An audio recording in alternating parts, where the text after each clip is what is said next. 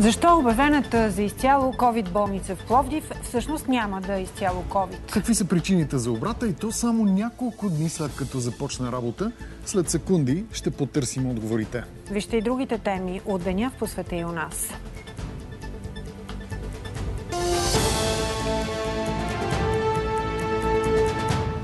Единственият инструмент, Божий инструмент е гласа, човешкия глас. Световната оперна сцена опустя след битка с COVID-19 замлъкна гласът на големия български тенор Камен Чанев. Отново мръсен въздух над София, няколко пъти над нормите. Прашния ни кален град и автомобилния трафик допринасят за тази ужасна ситуация, в която се намираме.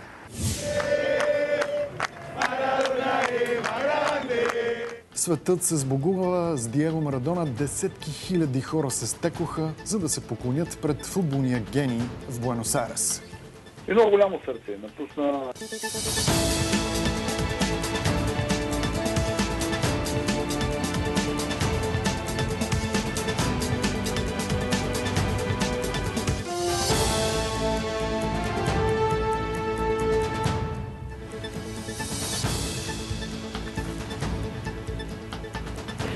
Започват централните новини на БНТ. Аз съм Марина Матева. Добър вечер. Здравейте в четвъртък, 26 ноември. Аз съм Даниел Михайлов. Пълен обрат. Броени дни след като обявената за първата в страната изцяло COVID болница Свети Мина в Пловдив започна работа, стана ясно, че тя няма да лекува само пациенти с коронавирус. Причините – липса на персонал и апаратура, както и недостатъчен финансов ресурс. Решението беше оповестено изненадващо от община Пловдив, като все още не е ясно колко средства са похарчени за преструктурирането на здравното заведение. Още с идеята то да се превърне в първата COVID болница в страната, назря напрежение между местната администрация и областния кризисен штаб. Защо се стигна до този обрат и как ще работи болницата от тук нататък, ще разберем от Деница Турньова.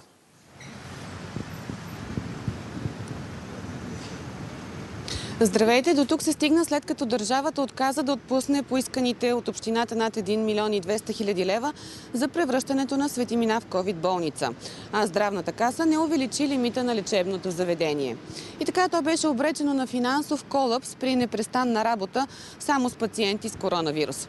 Днес от общината ясно обясниха, че Светимина не отговаря на нито едно условие да работи на практика като инфекциозна болница. Но защо от областния медицински штаб не са взели предвид всичко това още преди да започне преструктурирането, остава неясно. В последните месеци неведнъж градската и държавната власт изразяваха различни позиции относно болницата. А днес здравният министр отказа коментар по случая. Търсят се пари и персонал, за да може общинското здравно заведение да продължи дейността си, като процент от леглата ще бъдат запазени за болни с коронавирус. До сега тук са прияти за лечение малко над 150 заразени. В момента се лекуват 58 души. Те няма да бъдат местени в други болници. Въпреки, че Светимина няма да работи като изцяло COVID болница, днес беше обявено, че в здравното заведение започва работа референтна PCR лаборатория. Решението, че болница Свети Мина няма да обслужва само пациенти с коронавирус, е взето след пълен анализ относно възможностите на здравното заведение. Първо, тя е в центъра на града. Второ, тази болница няма паркинг. Тя няма подход. Прозорците на болничните стаи са над тротуара. Линейките, които и в момента спират, оставят болните на тротуара преди да бъдат внесени в а, триажа. Всичко това обаче е било ясно още преди да бъде обявено, че Свети Мина става първата COVID болница у нас. Още през март от Общинския щаб са изпратили писмо до Здравното министерство, в което предлагат като подходящи за целта три други здравни заведения – Белодробна болница, Окръжна болница или Свети Пантелеймон. Нашето предложение не беше прието. И тогава, и във времето съм изразявал своето мнение против Свети Мина да бъде преобразувана като инфекциозна. Решението за това обаче е взето единодушно от медицинския щаб още през април, обясниха от областната управа. Аргументите бяха, че болницата е ниско натоварена, т.е. под 40%. Беше съставена комисия, която да провери лечебното заведение и реално се даде зелена светлина и категорично становище, че разполага с всичко нужно, за да бъде болница за прием на средно тежки пациенти. Според новата заповед на Рези и Пловдив, COVID леглата в болница Свети Мина се редуцират от 137 на 60, тъй като това е обема, който може да бъде обезпечен. Търсим хора, покриваме графици. Ние ще дадем максимума от себе си. От болницата вярват, че ще се намери изход от финансовата криза, в която тя изпадна, след като лимитите по каса бяха изразходени. И в НЗОК вече търсят откъде да пренасочат нужните средства. Ще се намерят от а, други здравни заведения, които не са си достигнали бюджета средства, така че да нашия свръх бюджет, нашия преразход да бъде финансиран. В същото време няма яснота колко средства са похарчени за несъстоялото се преструктуриране. Много от нещата са на отложено плащане. Не можем сумарно да ви кажа, но сумата, която пролета се гласува от Общинския съвет, беше 270 хиляди лева. Дали в Пловдив ще бъде определено друго здравно заведение за изцяло COVID болница, все още не е ясно. Заради наплива на пациенти в COVID отделенията на бургаските болници, от днес там разкриват допълнителни легла. До момента заразените в областта са близо 6000, но самостоятелна COVID болница няма да има. Давид Сукнаров с подробностите сега. Добър вечер. Държавната болница в Бургас, която е и най-голямата в областта, бе единственото предложение за COVID болница. Още миналата седмица обаче стана ясно, че такова лечебно заведение на територията на Бургас не може да се обособи. От областният кризисен штаб казват, че такава реорганизация би затруднило специализираната помощ за редица други заболявания, а от днес леглата в COVID отделенията в Бургас се увеличават с 160. Общо 440 са вече леглата за пациенти с коронавирус в бургаските болници. Кметът на града апелира и личните лекари да се включат в борбата с вируса в ДКЦ-тата, където работят или в триажните центрове, като за това ще бъдат поощрени финансово. Общината от общинския бюджет, от бюджета на, на кресне на, на щаба на община Бургас сме готови допълнително да заплатим тези 1000 лева а, за допълнителния финансов стимул. Ако има желаящи, буквално, ако трябва на мен да се обадят или на община Бургас, средствата са подсигурени. Областният кризисен щаб в Бургас смятат, че за града е по-добре да има чисти от COVID болници, вместо да се обособят лечебни заведения изцяло за заразата. Все още се обмисля и кои да бъдат те. Миналата седмица от щаба са изпратили становище до здравния министр, че в града не може да се обособи COVID болница. А от началото на декември Бургас разкрива кръвен център за набиране на плазма от преболедували COVID-19 за лечението на пациенти, диагностицирани с заразата. Изискването за дарителите е да са минали между 40 дни или в края на третия месец след установен COVID-19. Доказателството най-добре трябва да е PCR тест направен с, с упомената дата. Няма значение коя лаборатория в страната го е направила. Добре е да има дата, за да можем ние да преценим, че са минали 40 дни след правенето на този тест. Мария Пенева е преболедувала COVID-19 и е сред първите доброволци, които ще дарят кръв след като заработи центъра на 2 декември. Ами изкарах коронавирус и чакам да мина 40 дни от положителния PCR тест и ще даря. Да, ще даря, за да може моята плазма да помогне и на други хора в това състояние. Кръвната плазма ще се изследва в Стара Загора и до два дни ще се връща отново в Бургас. Тъжна новина. След седмица битка с COVID-19 на 56 години почина тенорът Камен Чанев. Световно признатият оперен певец беше прият в Старозагорската болница, докато, където лекарите до последно се бориха за живота му. Преди дни приятелите на Камен организираха кампания за даряване на кръвна плазма за лечението му. Желаящите да изразят своята почет към Камен Чанев могат да го направят в събота от 10 до 13 часа в фоието на Старозагорската опера. Памет на големия певец утре от 21 часа БНТ 2 ще излъчи филма Тенорът. Каменчанов пя за последно пред публика на 6 ноември, като представи своя първи отело на сцената на Старозагорската опера.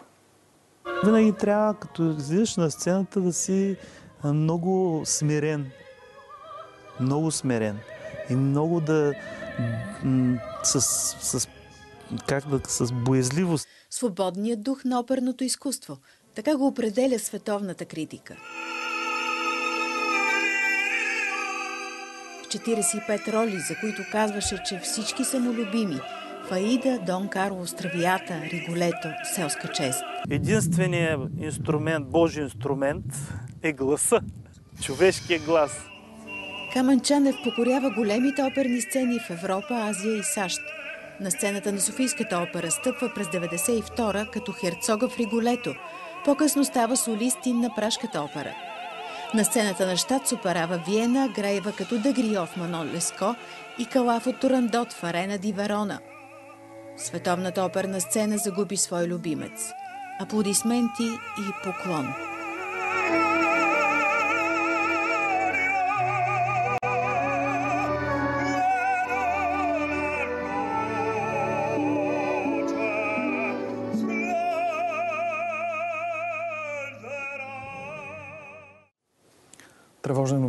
Варна. Петима варненски лекари, заразени с коронавирус, са в много тежко състояние.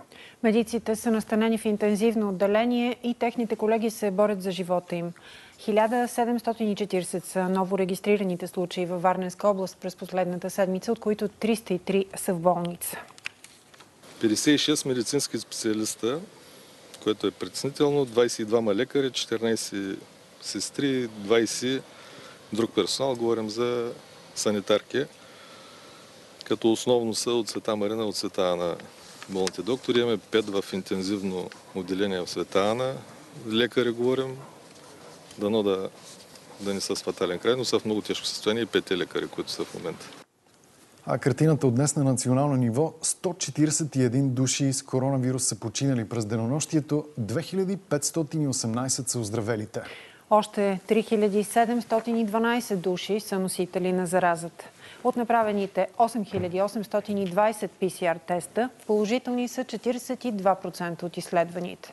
В болница остават над 6500 пациенти. И проблеми извън темата COVID. Отново мръсен въздух в столицата. На места фините прахови частици са били няколко пъти над нормата. Затова и утре в буферните паркинги на метрото ще се паркира безплатно. Майя Димитрова сега включваме с подробностите. Добър вечер, Майя. Здравейте! В определени часове дишаме наистина въздух с замърсяване до 4 пъти над нормата. Това показват данните на столичната община. Прогнозата за утре също не е много обнадеждаваща. Тук на общинското табло зад мен по принцип може да се виждат стойностите от всички станции, които са в града. За съжаление в последния половин час не са се появявали какви са точно в момента стойностите на фините прахови частици, които най-често са, както и днес, извън нормата така че не може да ви кажем какви са стойностите им сега. Но Европейският индекс за качество на въздуха показва, че рано тази сутрин в Павлово и в Надежда са дишали кислород с много лошо качество. Въздухът в София се измерва само от 6 станции, като една от тях е в планината. Една трябваше да е тук на Орлов мост, но бе временно а, прекратена работата заради метрото, а, останалите, а от останалите четири нито една не се намира в центъра на града. От общината съобщиха, че така нареченият зелен билет, който осигурява възможност за безплатно пътуване с градския транспорт и това е мярка срещу замърсяването, няма да бъде приложен в тези дни, тъй като не са изпълнени условията за това, но да чуем подробности в репортажа. Несъвършен, но достатъчно добър уред показва, че в момента тук има 4 пъти превишение на стойностите на най-опасните фини прахови частици. Навън е опасно, казва Стефан Димитров, един от доброволците на гражданската система за измерване на въздуха Air София. Нашите карти показват от няколко дни силно замърсяване. Те светят в лилаво. Фините прахови частици и отровите, които са във въздуха, се смесват с водните капки на мъглата и много по-лесно проникват в нашите тела. За да са в норма, фините прахови частици не трябва да превишават 50 микрограма на кубичен метър. Последното от денонощи в четирите станции за измерване на качеството на въздуха в града, нормата е превишена между 2 и 4 пъти. В опит да намали замърсяването от общината ще проверяват строителни и промишлени обекти и призовават да не се използва твърдо битово гориво за отопление. Освен това, днес и утре ще се паркира безплатно на паркингите на метрото. Дървата и въглищата, на които се отопляват домакинствата, е един от основните замърсители и когато това е смесено с лоши климатични атмосферни условия, допринася именно за това въздуха да бъде замърсен. Тези мерки не са достатъчни според гражданската платформа RBG. Пращия ни и Кален град и автомобилния трафик допринасят за тази ужасна ситуация, в която се намираме. Според скорошно изследване на Института по метеорология и хидрология, прахът от улиците е най-сериозният замърсител на атмосферата. Разбира се, праха е много важен, но столична община и тук работи активно. Тази прах се образува и от калните точки, които са идентифицирани. Това са междублокови пространства, в които има кални петна. Според прогнозата на столична община, събота и неделя въздухът ще бъде малко по-чист. Рекордна гаранция от 2 милиона лева за свободата на бизнесмена Атанас Бобоков. Апелативният специализиран наказателен съд измени мярката му за неотклонение.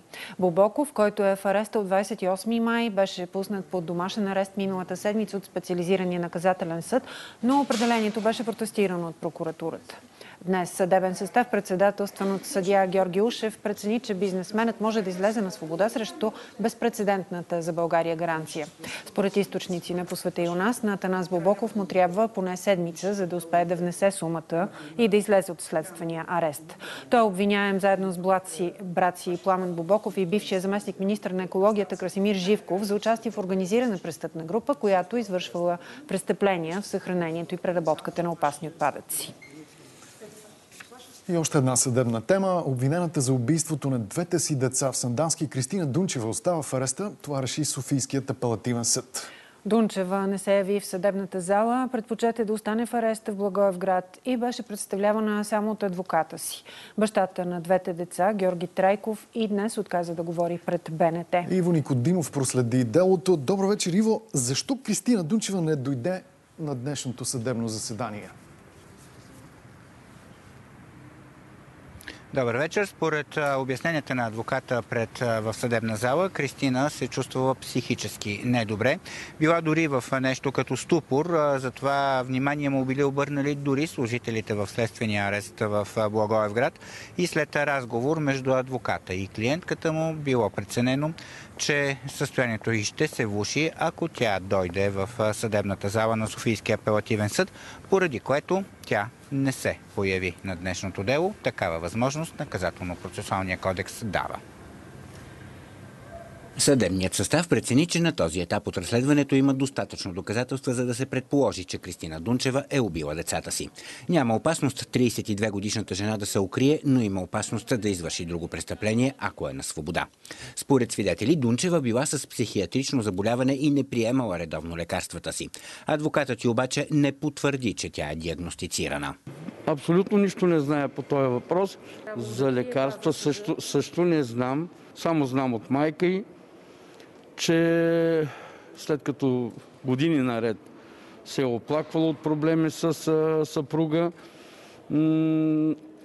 се е оплакала също така, че не се чувства психически добре, че изпада в такива състояния, в които се чувства изключително зле, депресирана и също така от майка. И знам, че са извършили един такъв а, преглед а, при специалист-психиатър, който е заявил към онзи момент, че я намира за вменяема, но е силно депресирана, изключително силно. Няма данни Дунчева да е регистрирана с психиатрично заболяване. Назначена е съдебно-психиатрична експертиза за състоянието й, но тя още не е готова и това е допълнителен мотив съда да прецени, че задържането под стража е най-подходящата мярка за нея. На този етап жената не говори нищо за вечерта на убийството, дори с адвоката си. Опитах се, честно да ви кажа, опитах се, но виждам ситуацията, че за нея е много тежка, много трудна, мълчи, гледа в една точка, отговаря лаконично. Разследващите са иззели телефоните на Кристина Дунчева и бащата на двете убити деца Георги Трайков и са назначени експертизи на чат кореспонденция между двамата. Родителите на Кристина доброволно са предоставили и съобщения, с които дъщеря им ги моли за помощ сутринта преди убийството. Чрез адвоката си бащата на двете убити деца отказа коментар. Дали сме обяснение и по досъдебното производство. Днес сутринта сме разговаряли с Георги и с неговото семейство. Докато не приключи разследването, няма да даваме за медиите, независимо кои са, изявления повече. Между Кристина Дунчева и Георги Трайков има две дела. По едното жената съди мъжа за домашно насилие. Второто е за родителски права върху двете убити деца. Иво, какви са мотивите за убийството според разследващите? Разследващите работят по всички възможни мотиви, като разбира се, основното са взаимоотношенията вътре в семейството и дали те не са станали причина за тази постъпка на жената на Кристина Дунчева. Какво ще установи разследването, естествено, предстои да разберем. Информация на Иво Никодимов. Кристина Дунчева остава в ареста. За 36 часа беше разкрито двойното убийство в Шумен. Като обвиняеме е привлечен внукът на възрастното семейство, което беше открито мъртво в понеделник в вилната зона на града. Мъжът, който е на 21 години, е задържан в дома си, като не е оказал съпротива. Предстои прокуратурата да внесе искане за постоянно задържане под стража. Мотивът за жестокото убийство е пари, обясниха от прокуратурата и полицията. След като възрастните хора не му дали доброволно парите, той един по един ги завел на вилата, където с метален лост ги убил. След убийството той взел 700 лева от дома на възрастните хора, а после от банкови карти изтеглил още 500 лева. Оръжието на престъплението захвърлил в междублоково пространство, но след залавянето показал на разследващите мястото, където оставил металната тръба. Младежът не е осъждан, но има данни за пристрастяване към хазарт.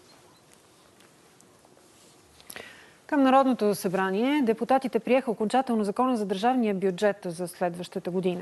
Финансовият министр Кирил Ананиев определи бюджета като адекватен економически отговор, който ще осигури финансова стабилност. В преходните и заключителните разпоредби днес парламентът гласува помощите за деца, както и данъчни облегчения за гледане на дете. Още от Деси Маркова. Деси, какво точно включват тези облегчения? С окончателното приемане на закона за бюджета беше решен един спор в управляващата коалиция.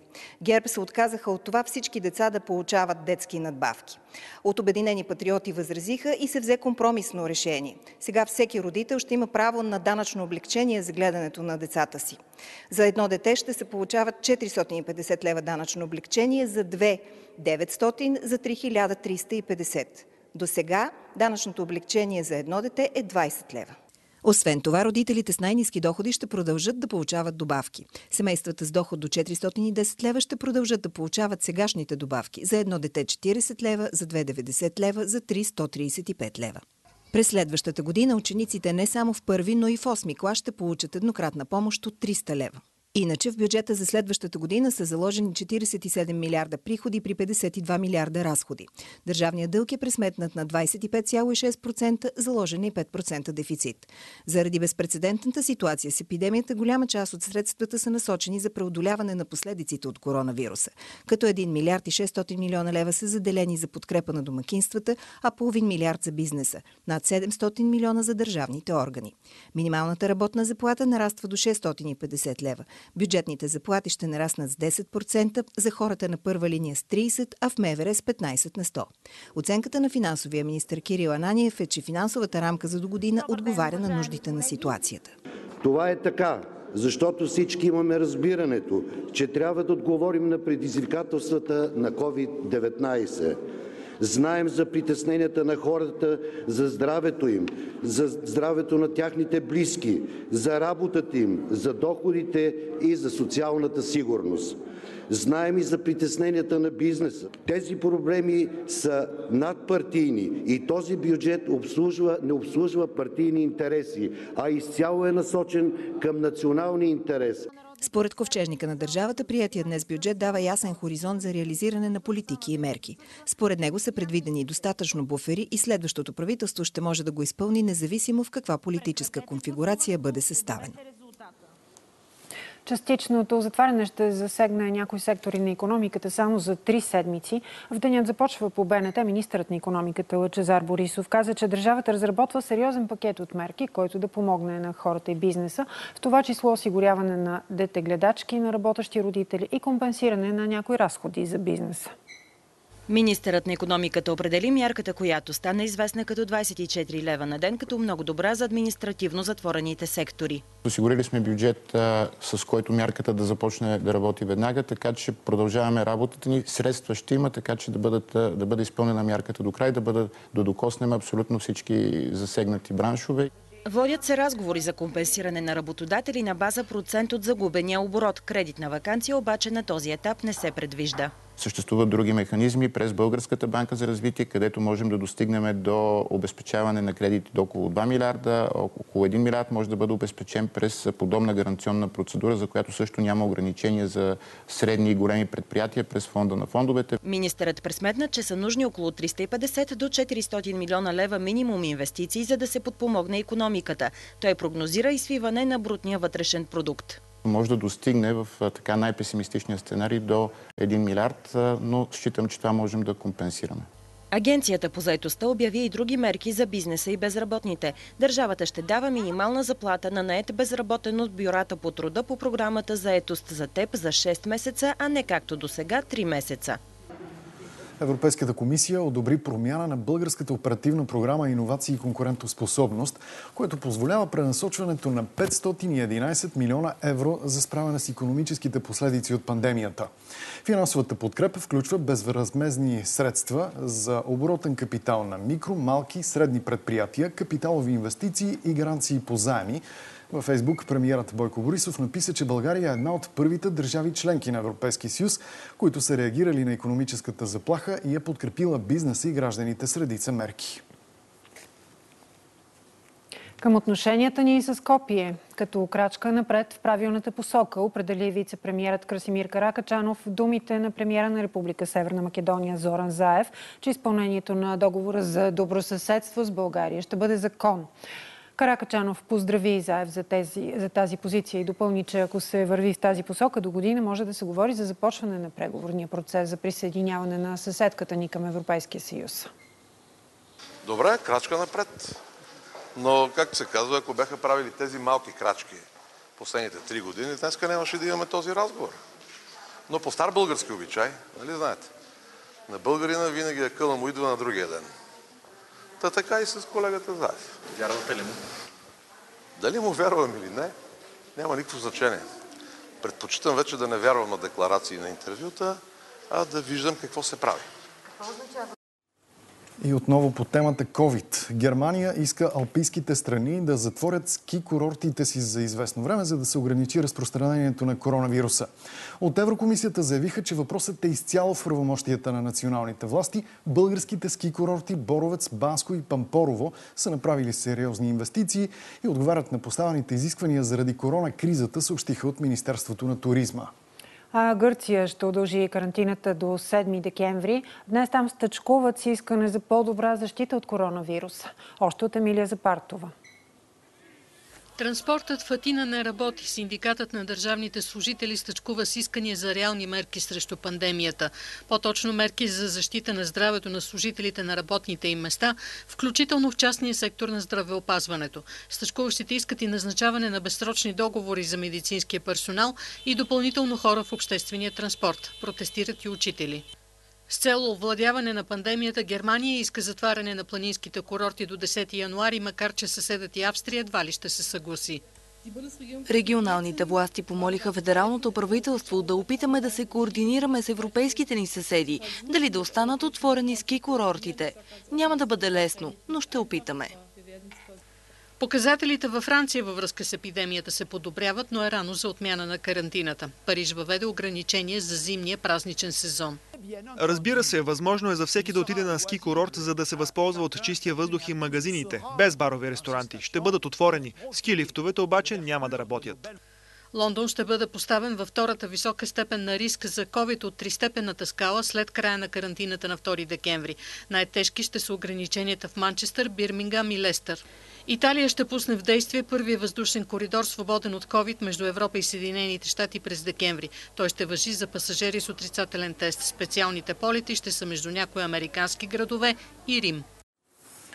Новина с продължение. От понеделник две детски градини в столицата ще приемат деца на лекари, медицински сестри и санитари, които работят в COVID-отделения.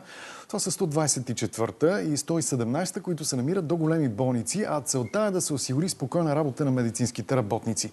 Очаква се около 80 деца да посещават детските заведения. В Бургас Три детски градини ще се грижат за децата на медиците, там обаче ще могат да ходят и ученици от първи до трети клас. 124-та детска градина в столицата е близо до големите болници Александровска, ВМА и Пирогов. От понеделник 168-те деца, които посещават градината, ще са вкъщи, но тук ще дойдат деца на лекари, сестри и санитари от COVID-отделения. От родителите ще се изисква декларация, че работят именно в такова отделение. Това е най-малкото, което можем да направим за българските медици. Няма никакви притеснения, екипите са готови да работят.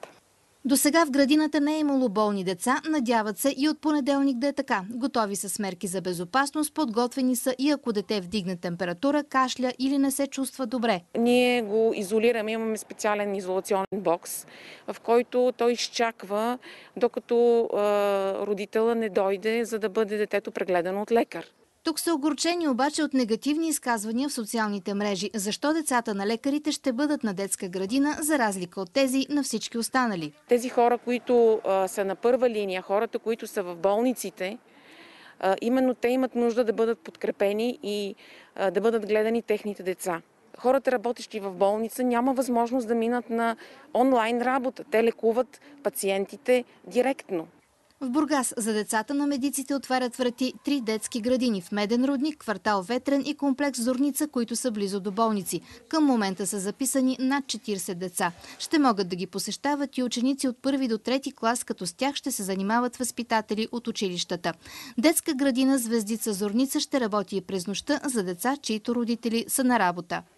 Колегите директори от другите детски градини а, могат да насочат персонал за работа при нас, така че нямам притеснения по отношение на обгрижването на децата с педагогически и помощен персонал. Детските учители коментираха още, че затварянето на детските заведения за три седмици много ще затрудни родителите, но на първо място трябва да се запази здравето на хората. От СЕМ призовават медиите по време на епидемията да се въздържат от сензационност и да не насаждат страх сред хората. А също и да отразяват добрите примери от живота. Проявите на солидарност, милосърдие, съпричастност. Като този. Два нови апарата за извличане на кръвна плазма се включват в битката срещу COVID-19. Апаратите и консумативите на стоеност близо 170 хиляди лева са закупени от ГЕРБ. Те ще бъдат дарени на центровете по трансфузионна хематология в Плевен и Стара Загора. Останалите центрове на територията на страната вече имат такава апаратура. Така даваме възможност на територията на цялата страна да имаме покритие с апаратура, която позволява извличане на реконвалесцентна плазма. Това, за което разговаряме в момента с експертите е да се даде възможност, ако те позволят, да се промени стандарта, така че да може в тези трансфузионни центрове към областните болници да се събира донорска плазма, а всъщност обработката и да става именно в центровете, които са районни и които имат тази апаратура. И един сериозен проблем от столицата. На студено и без топла вода при минусови температури се оказаха хиляди домакинства в София. Причината – спукан магистрален водопровод. Без топлоподаване останаха най-малко 20 хиляди домакинства от кварталите Подуене, Яворов, Редута и част от Геомилев. В късния следоват от топлофикация съобщиха, че аварията вече е отстранена и започва възстановяване на топлоподаването. Алеоша Шаламанов и операторът Ивайло Стоянов разказват как премина студения ноемврийски ден безпарно в засегнатите райони. Топлоподаването към над 900 абонатни станции в София е спряно около полунощ заради спукан главен водопровод. Седиме дебело облечени. Не добре при тая ситуация. А пък без топла вода да не говорим. Безпарно останаха и училища и детски градини. В една от засегнатите забавачки се наложило да включат електрически печки в 10-те групи с около 180 деца. Като се притесняхме дали ще стигнат по една във всяка група, слава богу, за сега държим в повечето групи около 20 градуса температура, само в една-две в по-старата сграда е около 18-19 градуса. Родителите бяха уведомени, че в градината няма парно и помолени при възможност да приберат децата си по-рано. В дома на Зорница парно има, затова решила да прибере децата си от градината по обяд. Трудно реагирах, честно казвам, защото работят вкъщи. Прекъснах си работата и така. Те са осигурили радиатори, стопили са стаите, но времето не е топ. Причина за аварията е корозия на 5 метров участък от водопровода. Има няколко язви в резултат на корозия в разстояние на 1 метър една от друга. Ремонти в района не е имало от построяването на топлопровода през 1988 година. Това е магистрален топлопровод. Те се сменяват горе-долу на 30-40 години. След повече от 17 часа работа аварията беше отстранена. Започна поетапното възстановяване на топлоподаването. Очаква се в късните часове парно и топла вода да има във всички сгради.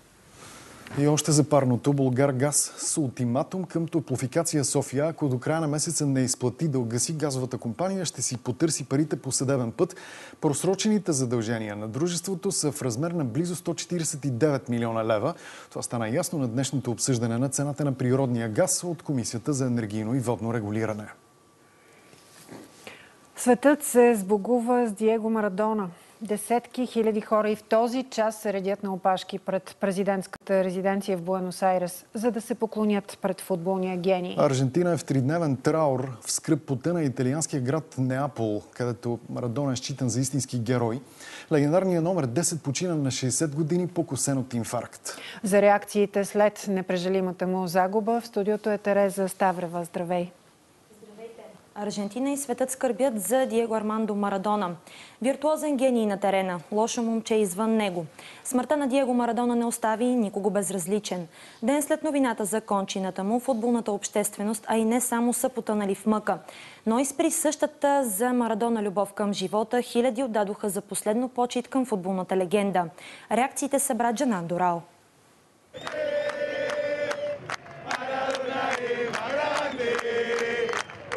С сълзи на очи и песни, които десетки пъти са огласили футболните стадиони. Хиляди хора с часове се редиха пред президентската резиденция в Буенос Айрес, за да кажат с Богом на любимия син на Аржентина. Смъртта на Диего Марадона не остави никого безразличен. Безкрайно тъжни сме, но ще го запомним с щастието, което ни носеше. Тази емоция, страст, сила, която той даваше на цяла Аржентина. Сигурен съм, че дори противниците му ще го запомнят като човек, който беше влюбен в играта, като човек, който гореше за футбола. Винаги, когато пътувах по света, се гордеех да кажа, че съм аржентинка. А хората веднага ми казваха, о да, Марадона, няма друг като него. От вчера не спирам да плача. Желаящите да се поклонят за последно пред футболния бог бяха толкова много, че се наложи полицията да вътворява ред. Той беше най-великия. Това е. Носеше усмивка на поколения аржентинци. А това е всичко, което Диего някога е искал. Той принадлежеше на хората. Легендарният номер 10 няма да бъде забравен и в Неапол, неговият втори дом, където също е обявен тридневен траур. Там Марадона превръща местния Наполи в футболна сензация. Вчера не почина само той. С него, с Аржентина си отиде и целият ни град. Нямам думи. За нас той е безсмъртен. Героите никога не умират. Диего беше икона в моето семейство. Когато съм се раждала, баща ми бил на стадиона и отказал да си тръгне преди да свърши матча. Стадиони ще бъдат преименувани в памет на Диего Марадона. Футболни отбори обмислят да не използват вече неговия номер. Графити с образът му се появиха в различни точки на света. Дон Диего стана част дори от сцена на Рождество, защото истинските легенди продължават да живеят дори след смъртта си. Отиде си едно голямо сърце. Един приятел. С тези думи Христо Стоичков изпрати своя приятел в живота и на терена Диего Армандо Марадона. Чуйте. Винаги искал да бъде номер едно. Затова го е постигнал. С неговия характер. С неговото голямо сърце до там дойде, всеки човек в света да го обича. И много голямо сърце. Напусна това, което направи като футболист. Всеки иска да го направи. Независимо по коя точка на света, където и да се намираш и кажеш Аржентина, всеки казва Диего Армандо Марадона. Специалното интервю на Христо Стоичков пред БНТ и как футболната общественост се сбогува с легендарният аржентинец след минути в спортните новини. Очакваме Тереза Ставрева за сбогуването с Марадона. И още от света доживотни присъди за военнослужащите, участвали в неуспешния опит за преврат в Турция през юли 2016 година. 337 офицери и пилоти, сред които тези, които атакуваха парламента в Анкара, ще останат в затвора до края на дните си. Някои от тях получиха по 79 доживотни присъди. В нощта на опита на преврат загинаха 250 души, а 2000 бяха ранени. Турските власти обвиниха духовник в изгнание Фетолах Гюлен и неговата организация ФЕТО за събитията. Гюлен и над 100 негови последователи са съдени задочно. Отиващият си американски президент помилва свой съветник, признал, че е дал неверни показания на ФБР. А избраният за държавен глава честити Деня на благодарността със специално обращение. В Туитър Доналд Тръмп написа, че за него помилването на Майкъл Флин е голяма чест. Поздрави бившия си съветник по национална сигурност и семейството му и добави, че е сигурен, че те ще имат фантастичен ден на благодарността. През 2017 Флин призна, че е излъгал ФБР за контактите си с тогавашния руски посланик в Съединените щати,